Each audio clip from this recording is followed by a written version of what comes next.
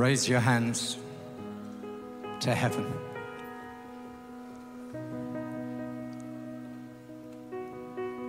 Express your thanksgiving to God. Right around this auditorium.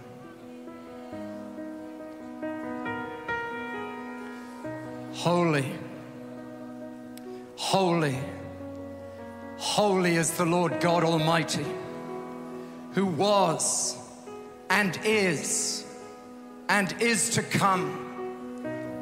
You are worthy, our Lord and God, to receive glory and honor and power. For you created all things, and by your will they were created and have their being. You are worthy because you were slain, and with your blood you purchased men for God from every tribe and language and people and nation. You have made them to be a kingdom and priests to serve our God, and they will reign on the earth. Worthy is the Lamb who is slain to receive power and wealth and wisdom and strength and honor and glory and praise to him who sits on the throne and to the Lamb be praise and honor and glory and power forever and ever and ever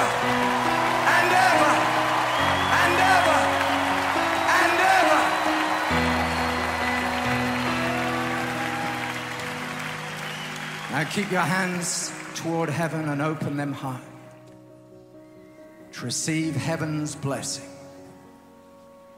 to fulfill this task, this divine mandate on earth, to bring justice where there is injustice, and hope where there is hopelessness, peace where there is anxiety, love where there is fear, salvation where there is brokenness.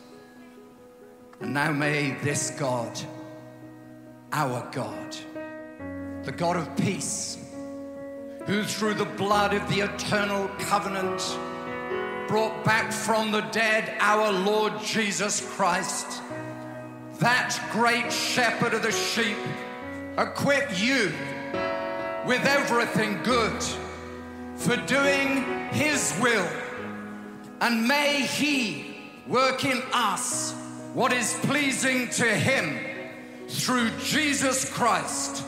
To him be glory forever and ever. And may the grace of the Lord Jesus Christ and the love of God and the fellowship of the Holy Spirit be with you all.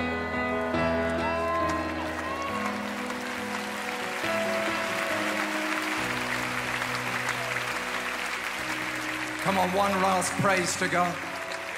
Lift up your voice.